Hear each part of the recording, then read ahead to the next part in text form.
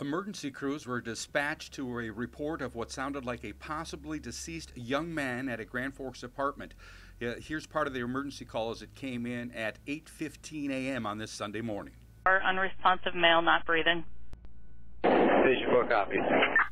Now, at this point, no details. If this is a medical incident, no further information will be released. If there are other circumstances surrounding it, we'll update this story later today. In Grand Forks, I'm Neil Carlson reporting for iNewZ.TV.